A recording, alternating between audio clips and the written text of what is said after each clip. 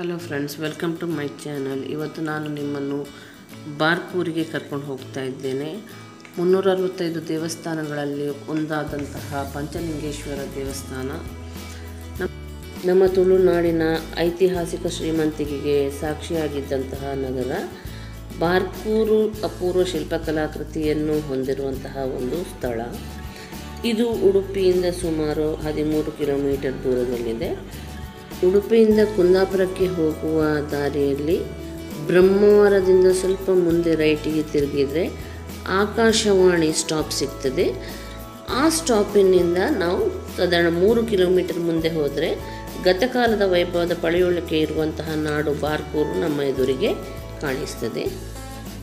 ಬಾರ್ಕೂರಿನ ಸುತ್ತಮುತ್ತ ಎಲ್ಲಿ ನೋಡಿದಲ್ಲಿ ಶಾಸನದ ಕಲ್ಲುಗಳು ಹಾಗೂ ಮಹಾಸತಿ ಕಲ್ಲುಗಳು ಕೆರೆಗಳು ದೇವಸ್ಥಾನ, ಬಾವಿ ಮುಂತಾದವುಗಳನ್ನು ನಾವು ಕಾಣ್ಬೋದು. ಇವಾಗ ನಾವು ಪಂಚಲಿಂಗೇಶ್ವರ ದೇವಸ್ಥಾನದ ಮೆಟ್ಟಿಲುಗಳನ್ನು ಏರಿದ್ದೇವೆ. ಇದು ಗೊಂಬೆಗಳು ಹಬ್ಬದ ಸಮಯದಲ್ಲಿ ಇದನ್ನು ಮೆರವಣಿಗೆ ತೆಗೆದುಕೊಂಡು ಹೋಗ್ತಾರೆ. ಪಂಚಲಿಂಗೇಶ್ವರ ದೇವಸ್ಥಾನ ಸಾಧಾರಣಕ್ಕೆ ಒಂದು ಸಾವಿರದ ಮುನ್ನೂರರಿಂದ ಒಂದು ಸಾವಿರದ ನಾಲ್ನೂರು ವರ್ಷ ಪುರಾತನವಾದ ದೇವಾಲಯ. ಎದುರಿಗೆ ಈ ಕಂಬಗಳು ಕಾಣ್ತಾ ಇದೆ ಅಲ್ವಾ? ಅದು ಪುರಾತನ ಕಾಲದ್ದು ಆದರೆ ಈಗ ರಿನೋವೇಷನ್ ಮಾಡಿದ ಮೇಲೆ ಹಳೆಯ ಕಾಲದ ಕಂಬಗಳನ್ನು ಉಪಯೋಗ ಮಾಡಿಕೊಂಡು ಇದನ್ನು ನಿರ್ಮಿಸಲಾಗಿದೆ. ಪ್ರತಿಯೊಂದು ಕಂಬಗಳ ಕೆತ್ತನೆ ಗಮನಿಸಿದ್ದಲ್ಲಿ ತುಂಬ ಅದ್ಭುತವಾದ ಕೆತ್ತನೆ ಇದಾಗಿದೆ. ಹಾಗೆಯೇ ದೇವಸ್ಥಾನದ ಒಳಗೆ ಪ್ರವೇಶ ಮಾಡಲು ದೇವಸ್ಥಾನದ ಎದುರುಗಡೆ ಬಾಗಿಲು ಈ ರೀತಿಯಲ್ಲಿ ಮಾಡರ್ನೈಸ್ ಆಗಿ ಮಾಡಿದ್ದಾರೆ. ಅದೇ ರೀತಿ ಮುಂದೆ ಸಾಗ್ತಾ ಇದ್ದ ಹಾಗೆ ಎಲ್ಲ ಕಂಬಗಳಿಂದ ನಿರ್ಮಿತ ಮಾಡಿರುವಂತಹ ಪಡಸಾಲೆ ಅಂತ ಹೇಳ್ಕೊಂಡು ಹೇಳ್ಬೋದು.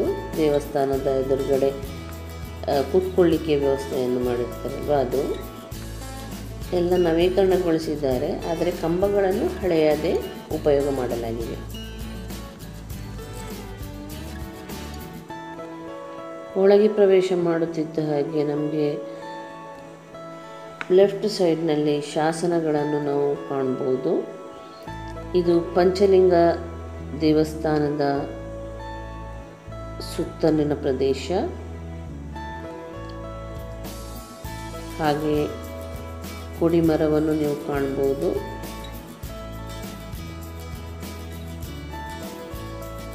ದೇವಸ್ಥಾನದ ಒಳಗೆ ಹೋಗುವ ದೇವಸ್ಥಾನದ ಒಳಗೆ ಪ್ರವೇಶಿಸುತ್ತಿದ್ದಂತೆಯೇ ಅದರ ಬಾಗಿಲನ್ನು ನೋಡಿದಾಗ ತುಂಬ ಹಳೆಯ ಕಾಲದ ಮರದ ಬಾಗಿಲು ಗೋಚರ ಆಗ್ತದೆ ಪುರಾಣ ಕಾಲದಲ್ಲಿ ಮಾರ್ಕಂಡೆಯ ಮುನಿಗಳ ತಪಸ್ಸಿನಿಂದ ಒಲಿದ ಶಿವ ಶ್ರೀ ಪಂಚಲಿಂಗೇಶ್ವರನಾಗಿ ಪ್ರತಿಷ್ಠಾಪಿತವಾಗಿ ಹಾಗೂ ಪಾರ್ವತಿಯ ಸಹಿತವಾಗಿ ಪೀಠದಲ್ಲಿ ವಾಮದೇವ, ಸದ್ಯೋಜಾತ, ಈಶಾನ, ತತ್ಪುರುಷ, ಅಘೋರ ಐದು ಹೆಸರಿನಿಂದ ಕೂಡಿದಂತಹ ಲಿಂಗಗಳನ್ನು ಇಲ್ಲಿ ಕಾಣ್ಬೋದು. ದೇವಸ್ಥಾನದ ಗುಡಿಯಲ್ಲಿ ಐದು ಲಿಂಗ ಇದ್ದರೂ ಸಹ ಮೂರು ಲಿಂಗ ಮಾತ್ರ ಬಂದ ಭಕ್ತರಿಗೆ ಕಾಣಿಸುತ್ತದೆ ಅದೇ ರೀತಿಯಲ್ಲಿ ಇಲ್ಲಿ ದೇವಸ್ಥಾನದ ಎಡಭಾಗದಲ್ಲಿ ಐತಿಹಾಸಿಕ ದೇವಸ್ಥಾನದ ಬಗ್ಗೆ ಶಾಸನಗಳನ್ನು ನೀವು ಇಲ್ಲಿ ಕಾಣ್ಬೋದು. ನಮ್ಮ ತುಳುನಾಡಿನಲ್ಲಿ ಮೊದಲೇ ಇದ್ದಂತಹ ಅಳಿಯಕಟ್ಟು ಅಥವಾ ಮಾತೃ ಸಂಸ್ಕೃತಿಯನ್ನು ಕಾನೂನು ಮೂಲಕ ಜಾರಿಗೆ ಮಾಡಿದಂತಹ ಹೆಸರಿರುವ ಸಂಸ್ಕೃತದ ಭೂತಾಳ ಪಾಂಡ್ಯ ಚರಿತಂ ಕೃತಿಯ ಹದಿಮೂರನೆಯ ಅಧ್ಯಾಯದಲ್ಲಿ ಭೂತಾಳ ಪಾಂಡ್ಯ ಕ್ರಿಸ್ತಶಕ ಎಪ್ಪತ್ತ ಏಳರಲ್ಲಿ ಬಾರ್ಪೂರಿನಲ್ಲಿ ಆಳ್ವಿಕೆ ನಡೆಸುತ್ತಿದ್ದ ಎನ್ನುವುದರ ಬಗ್ಗೆ ಮಾಹಿತಿ ಇದೆ. ಈ ವಂಶವು ಸಾಧಾರಣ ಇನ್ನೂರ ಐವತ್ತೊಂಬತ್ತು ವರ್ಷ ಆಡಳಿತ ನಡೆಸಿರುವ ಇತಿಹಾಸವೂ ಇದೆ ಎಂದು ಕೃತಿಯಲ್ಲಿ ಉಲ್ಲೇಖವಾಗಿದೆ ಇಲ್ಲಿ ಭೂತಾಳ ಪಾಂಡ್ಯನನ್ನು ಹೊರತುಪಡಿಸಿ ಬಾರ್ಪೂರು ಇತಿಹಾಸದಲ್ಲಿ ಅಳುಪರ ಆಡಳಿತವನ್ನು ನಾವು ಕಾಣಬಹುದು. ಇಲ್ಲಿ ನೀವು ಕಾಣ್ತಾ ಇರುವುದು ಹಳೆಯ ಹೋಮಕುಂಡ. ಅದೇ ರೀತಿ ದೇವಸ್ಥಾನವು ನಿಮಗೆ ಈ ರೀತಿಯಲ್ಲಿ ಕಾಣಿಸ್ತದೆ ಪುರಾತನವಾದಂತಹ ದೇವಸ್ಥಾನ. ಗರ್ಭಗುಡಿಯ ಎಡಭಾಗ ಹಾಗೂ ತೀರ್ಥಮಂಟಪದ ಎಡಭಾಗದಲ್ಲಿ ಮಂಡಿಯೂರಿ ಪ್ರಾರ್ಥನೆ ಮಾಡುವುದನ್ನು ವಾಡಿಕೆ ಈಗಲೂ ಇದೆ. ಅದೇ ರೀತಿಯಲ್ಲಿ ಈ ದೇವಸ್ಥಾನದಲ್ಲೂ ರಾಜರಾಣಿಯರ ನೆನಪಿಗಾಗಿ ಕಲ್ಲಿನಲ್ಲಿ ಕೆತ್ತನೆ ಮಾಡಲಾಗಿದೆ ಹಾಗೂ ಹೆಸರುಗಳನ್ನು ಸಹ ಕೆತ್ತನೆ ಮಾಡಲಾಗಿದೆ. ಇಲ್ಲಿ ಕೆತ್ತನೆಯು ಹೆಣ್ಣು ಹಾಗೂ ಗಂಡು ಎರಡೂ ಕೆತ್ತನೆಯನ್ನು ಚಿತ್ರೀಕರಿಸಿದ್ದಾರೆ. ಅದೇ ರೀತಿಯಲ್ಲಿ ನಿಮಗೆ ಕಾಣ್ತಾ ಇರೋದೀಗ ಬರಹ. ಬಾರ್ಕೂರ ಇತಿಹಾಸದಲ್ಲಿ ಮುನ್ನೂರ ಅರವತ್ತೆಂಟು ದೇವಸ್ಥಾನಗಳಲ್ಲಿ ಕೆಲವು ದೇವಸ್ಥಾನಗಳು ನೆಲಸಮ ಆಗಿದೆ ಹಾಗೆ ಉಳಿದ ದೇವಸ್ಥಾನಗಳ ಪೈಕಿ ಕೆಲವು ಫೋಟೋಗಳು ಬ್ಯಾನರ್ಗಳನ್ನಾಗಿ ಜನರ ಜ್ಞಾನಕ್ಕಾಗಿ ಇಲ್ಲಿ ಇಡಲಾಗಿದೆ.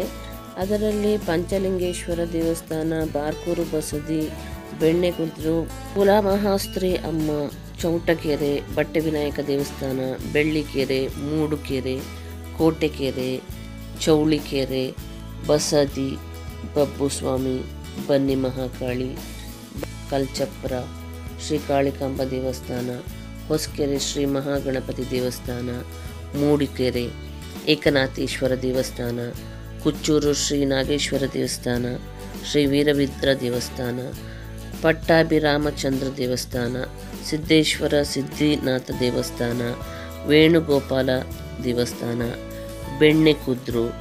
ಅದೇ ರೀತಿಯಲ್ಲಿ ಬಾರ್ಕೂರು ಶ್ರೀರತ್ನ ರತ್ನಗರ್ಭ ಗಣಪತಿ ಶ್ರೀ ಮಹಾಲಿಂಗೇಶ್ವರ ರಂಗನಕೇರಿ ದೇವಸ್ಥಾನವನ್ನು ನೀವು ಅಲ್ಲಿ ಕಾಣಬಹುದು.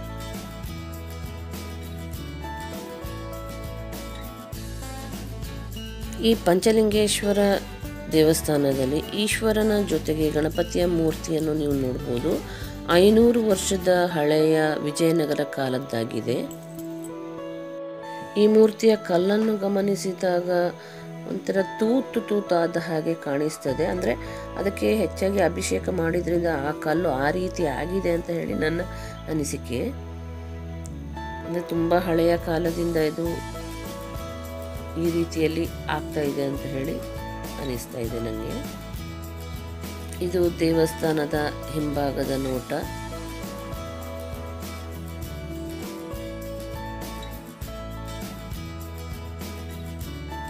ಅದೇ ರೀತಿಯಲ್ಲಿ ಇಲ್ಲಿ ನಾಗಬನ ಸಹ ಇದೆ. ಇದು ಮಾರ್ಕಂಡೇಯ ಮುನಿಗಳ ತಪಸ್ಸು ಮಾಡಿದಂತಹ ಸ್ಥಳ ಅಂತ ಹೇಳಿ ಹೇಳಿದ್ದಾರೆ. ಅದೇ ರೀತಿಯಲ್ಲಿ ಈಶ್ವರನ ಜೊತೆಯಲ್ಲಿ ಕುಮಾರಸ್ವಾಮಿಯ ರೂಪದ ವಿಗ್ರಹವೂ ಇದೆ. ಒಂದು ಕೈಯಲ್ಲಿ ದಂಡವನ್ನು ಹಿಡ್ಕೊಂಡು ಇನ್ನೊಂದು ಕೈಯಲ್ಲಿ ಪಕ್ಷಿ ಹಿಡಿದ ಭಂಗಿಯ ವಿಗ್ರಹವನ್ನು ನೀವು ಇಲ್ಲಿ ಕಾಣಬಹುದು.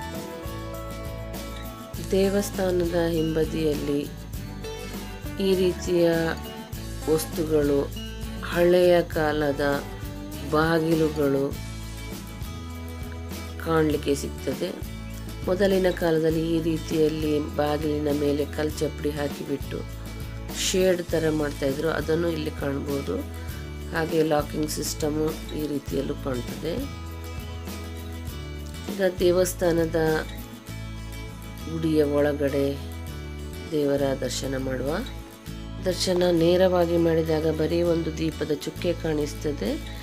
ಸ್ವಲ್ಪ ಕ್ರಾಸ್ ಆಗಿ ನೋಡಿದಾಗ ನಿಮಗೆ ದೇವರ ದರ್ಶನ ಪೂರ್ತಿಯಾಗಿ ಕಾಣಿಸ್ತದೆ.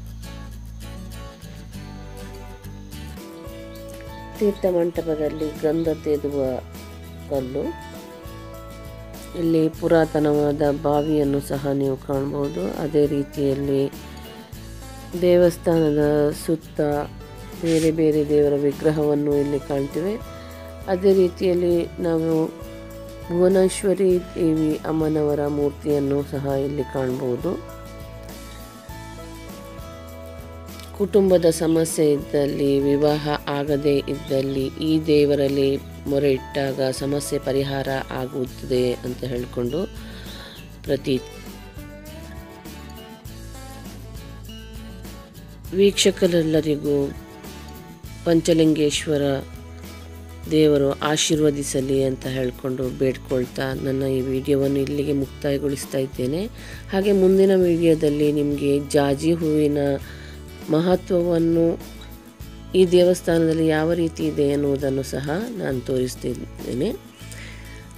ದೇವಸ್ಥಾನದ ಉಳಿದ ಭಾಗವನ್ನು ಮುಂದಿನ ವಿಡಿಯೋದಲ್ಲಿ ತೋರಿಸಲಾಗುವುದು. ಹಾಗೆ ಅದರ ಮಹತ್ವವನ್ನು ಅಲ್ಲಿ ತಿಳಿಸಲಾಗುವುದು.